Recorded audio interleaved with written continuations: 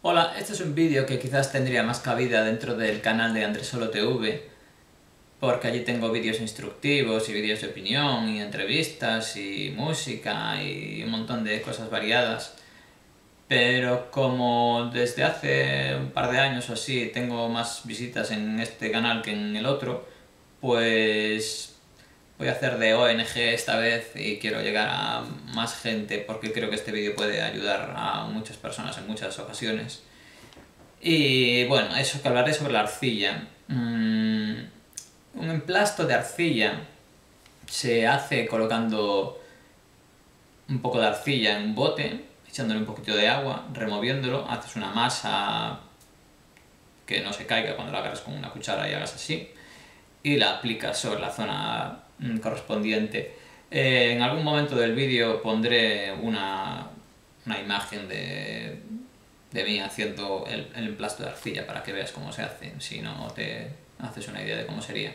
Bueno, em, yo lo he visto y he comprobado infinidad de aplicaciones.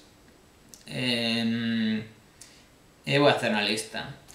Primero con quemaduras. Si te quemas con el horno o te quemas con algo muy caliente o te quemas con un mechero o te quemas con lo que sea y te duele mucho eso y dices, uy, lo que se me va a montar aquí, voy a estar ahí días con un dolor de la hostia y me cago en la leche, pues eh, inmediatamente, hombre, a veces lo mejor es echarlo, meterlo debajo del agua un poquito, pero mientras puedes ir haciendo el emplasto, el emplasto o puedes hacer directamente el emplasto, porque como ya le vas a echar líquido ahí. Y entonces se lo echas sobre esa zona, lo, mm, tapas toda la zona, cubres toda la zona que esté eh, quemada, le pones un film de cocina alrededor, un film o plástico de cocina o cosa de esta transparente que usan para envolver los sándwiches, por ejemplo, eh, que en, en, diferentes sitios se llaman de diferentes maneras. Y, mm, y eso evita que se seque la arcilla y tú quieres evitar que se seque porque lo que quieres es que humedezca esa zona. Mm, a veces el ponerle el film este de cocina, mm, según el grado de la quemadura, hace que el dedo se caliente mucho, por ejemplo el dedo. Y, y entonces en ese caso es bueno quitárselo y dejarlo así al aire libre y, e irle echando gotitas según se va secando. Pues en 3 o 4 horas tendrás bueno, ya al, principio ya te deja de doler y al cabo de 3 o 4 horas lo puedes quitar y la gran mayoría de las veces eso está curado, no te duele nada y está perfectamente. Y en algunos casos más graves, como hace poco que me quemé con una cosa de hierro aquí, eh, estuve unas horas, se lo quité y dije, uy, esto no está bien del todo, le volví a poner, dormí con ello y al día siguiente ya estaba perfectamente. Pero generalmente, en cuestión de 3-4 horas, eso está curado.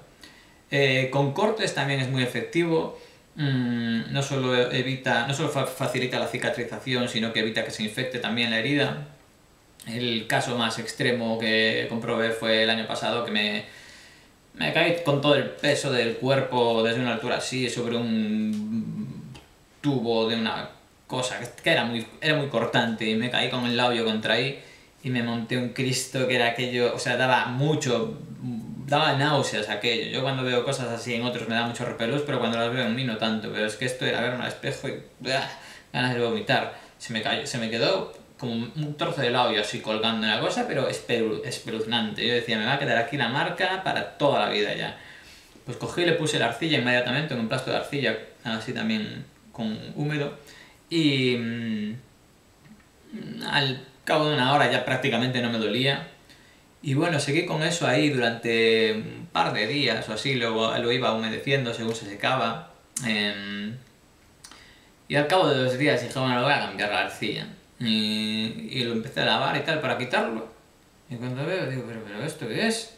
No tenía nada, o sea, se me había curado por completo. Me quedaba una, una rayita, pero que, que, que, ni siquiera la veías a no ser que te, que te acercaras y al cabo de dos días desapareció la rayeta y ahí no quedó nada. Y es una pena que no, tuviera, que no hubiera hecho fotos así porque solo estaba con una amiga y e, ella se lo cree porque lo vio, pero al resto le es difícil creerlo porque es una cosa muy desfasada y aquello curó, curó por completo. para picaduras de avispas, por ejemplo, o abejas, incluso de mosquitos, si lo coges en el momento, o sea, te pica haces el emplasto, se lo pones ahí y en este caso eh, sí que dejas que seque y yo creo que por el hecho de que seca debe absorber mmm, pues su humedad y cosas que hay en la piel y quizás se lleve el veneno también, teoría, elucubración mía, pero la cuestión es que eso se te cura, te deja de picar, te deja de doler y, y es alucinante también. Para mm, cuestiones de inflamaciones eh, también funciona mucho. Eh, por ejemplo, recientemente tanto mi padre como un amigo mm, se dieron un golpe en la rodilla o algo así, tenían la rodilla hinchadísima, pero hinchadísima. Y les eh, comenté lo de la arcilla, a mi amigo le hice yo el emplasto, bastante arcilla, le envolví bien el, eso con film de cocina, estuvo con eso un par de días. Eh, le recomendé que cuando se lo quitara lo dejara secar para que absorbiera lo que parecía que era líquido que tenía allí dentro y, mm, a los dos días la había mejorado muchísimo, y a mi padre también. Y vamos, una diferencia tremenda. Y, si, hubiera, si hubiera dejado un día más o así, le habría curado del todo, yo creo. Pero ya a partir de ese bajón ya le curó fácilmente. Mm. Para, mm, por ejemplo, hay gente que lo usa para máscaras faciales y así, ayuda a limpiar bastante la piel. Eh, ayuda a que salgan como, Yo lo que recomiendo, lo he visto alguna vez, eh, te echas esto húmedo, mm, de forma que además de nutrir la piel y así la reblandece un poco, y, mm, y después la deja secar.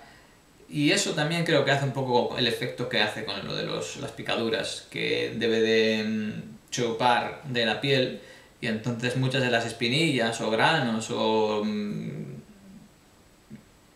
yo qué sé, restos de, cosillas que tengas en la piel, pues como que ayuda a extraerlos.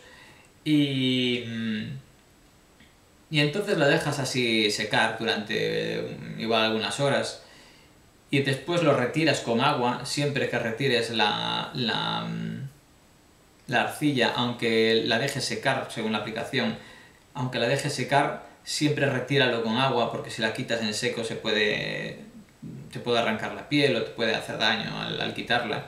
Entonces, ¿eso qué pasa? Que eso lo que hace es que te ha secado mucho la piel, entonces es posible que notes la piel muy seca. Entonces lo que haces es de nuevo ponerte otro, mm, otra mascarilla arcilla y, mm, y sin dejar que se seque, la dejas húmeda y la dejas un rato ahí húmeda y si hace falta lo humedeces un poco más y después la retiras, de forma que te ha hidratado lo que antes te ha deshidratado. Em, una amiga mía y más gente que lo ha probado, cuando se lo comenté, eh, le, pone herpes, eh, le pone herpes, le pone arcilla a sus herpes labiales cuando le salen y en cuanto le empiezan a salir le pone la arcilla, deja que se seque la arcilla, se seque inmediatamente el herpes evita que se extienda más o, se, aumente de tamaño, empieza a remitir, se seca y se cura mm, muy rápido, por lo visto. Yo nunca tuve herpes labiales, pero mm, esta gente que, lo ha hecho me ha comentado que es muy, muy rápido el proceso de curación en comparación con otras cosas. Mm, para úlceras estómago se usa arcilla blanca a veces, que es la más pura, Em, para úlceras estómago. Mm, y parece que las cicatriza y ayuda a mejorar. Mm, ahora que menciono de la arcilla blanca, hay arcilla blanca, hay arcilla roja, hay arcilla verde. La arcilla roja y la arcilla verde tienen más sustratos y impurezas de otros minerales y tal, pero no supone ningún problema, no es ni nocivo, ni tóxico, ni nada. Es la arcilla, si no me equivoco, es es un tipo de... Yo no entiendo mucho de, de estas cosas, la verdad, pero bueno. Em, es un tipo de sedimento mineral que hay en algunas zonas que es pues la tierra mm, tiene unas partículas muy finitas, muy finitas y unas características propias que ah, es lo que la define como arcilla. Y, mm, y eso es la arcilla. Mm, yo lo he probado para hemorroides. Yo tengo hemorroides desde los 14 años. y, o antes incluso. Porque yo solo comía carne, comía carne, comía carne, comía carne, comía carne y pescado y patatas fritas y pasta. Y entonces tenía un estreñimiento de la hostia, tenía estreñimiento crónico y, y se me pasó por completo cuando dejé de comer productos animales. Pero em, desde entonces pues se me quedaron porque esas cosas se quedan ahí y me empeoran a veces. Hace unos meses se me pusieron un poco mal las hemorroides, que normalmente no me dan mucho la vara, pero bueno, se me pusieron mal y mm, y estaba mes, llevaba meses ya con eso, un poco dándome la vara. Y un día oí hablar a alguien de ello, no recuerdo a quién, sobre su uso con lo de las hemorroides y probé hacer un emplasto y me, me metí hacia adentro parte de eso y me dejé por fuera otra parte. Y me fui a dormir y al día siguiente había mejorado notablemente lo probé otra vez al día siguiente y mejoró muy notablemente hasta el, hasta el punto que ya dejaron de molestarme. Y luego hace poco me volvieron a molestar un poco, hice eso mismo y en un día ya me, me mejoró. Supongo que depende de la gravedad del caso, pues habrá que ponerlas más tiempo, ¿no? Pero la verdad es que, es que sí que me funcionó. Em, y después mm, me diagnosticaron varicocele hace unos meses, o sí, hace unos meses, que es como varices en, los en venas que van a los testículos. Y mm, era bastante doloroso y, y, se notaban como las venas como hinchadas y hechas un lío así entre ellas y tal. Y me iban a operar ya directamente. Y mm, me mandaron a hacer otra ecografía para comprobar que era eso porque ya me habían hecho una daba que sí y en ese tiempo intermedio cogí y me hice emplastos de arcilla, me los puse en el escroto, los envolví con eh, film de cocina y estuve con ellos así como una semana, me lo cambié varias veces y tal. Y ya cuando iba a ir a hacerme la ecografía esta, yo me noté, ¿qué? Dije yo, aquí no noto nada, no sé si soy yo muy... Si soy un flipado y no noto nada o qué, fui allí, me hicieron la ecografía y ahí no salía nada de varicocele, cuando supuestamente el varicocele para curarlo tienes que operarte. Eh, se lo he recomendado a más gente en otro vídeo que hice sobre el varicocele y esto. Y a mucha gente le está mejorando muchísimo, ha notado mucho, mucha reducción en la inflamación y en el dolor y así, y, y en el tamaño del varicocele. Eh, también lo probé para una epididimitis que yo creo que fue a raíz del varicocele, porque el varicocele hacía que me colgara mucho un testículo, entonces yo creo que le afectó al otro testículo, se me produjo una inflamación del otro testículo, bueno, del, del, del epidídimo. El epidídimo es como, una, como un capuchón, así una parte externa que tiene el testículo, del cual salen unos cánulos para no sé qué, de esto de los testículos que tienen tubitos. Y.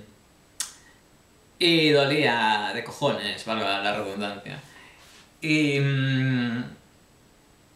y le ponía emplastos de eso, al cabo de una hora o así, o poco, me dolía bastante menos. Mantenía el emplasto ahí durante unos cuantos días, me mejoraba mucho, se lo quitaba. Y eso me fue más complicado que el varicocele. Eh, se lo quitaba y me volvía otra vez a doler, pero siempre, cada vez que me lo quitaba, bajaba un poco el tamaño de la inflamación y el dolor. Y se lo estuve poniendo durante semanas y así y me ha ido mejorando mucho y ahora lo tengo prácticamente curado.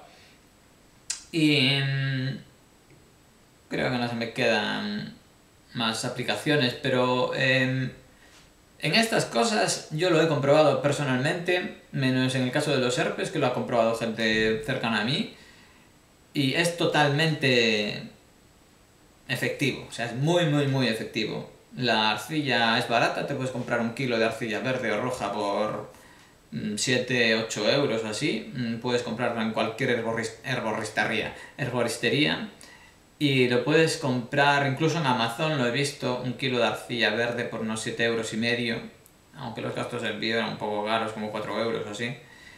Y, mm, y como un kilo tienes ahí para media vida. O sea, yo incluso con el tema del varicocele que estuve, que estuve usando mucha cantidad y así, me sobró mucho eh, de un kilo, así que es algo barato. Espero que a alguien le sea de utilidad y si no, pues has perdido no sé cuántos minutos viendo este vídeo.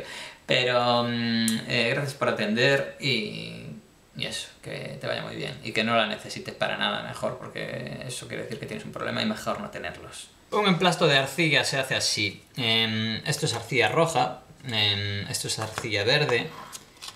Y vamos a hacerlo con arcilla verde, que tengo poca arcilla roja. Imagínate que te quemas aquí el dedo, pues metiendo la mano en el horno, o con el fuego de la cocina, o con tocando algo muy caliente, o con un mechero.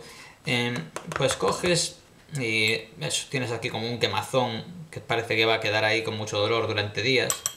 Entonces voy a hacer algo un poquito, porque yo me lo voy a quitar inmediatamente, así que, pero bueno. Eh, digamos que hacemos así. Bueno, venga, que neuras, colega. Eh, cogemos un poco de agua. Vete echando poco a poco, porque si no se te, se te hace muy, muy líquida le tienes que echar más arcilla. Pero bueno, tampoco pasa nada si te pasas. Sí, yo creo que un poquito más.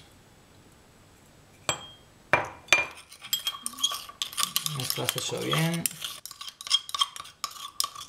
Bueno, pues en este caso tenemos ya suficiente. Aquí tenemos algo para hacer un emplasto. Se lo colocamos ahí, donde tenía yo la quemadura. Y... ¡Hala!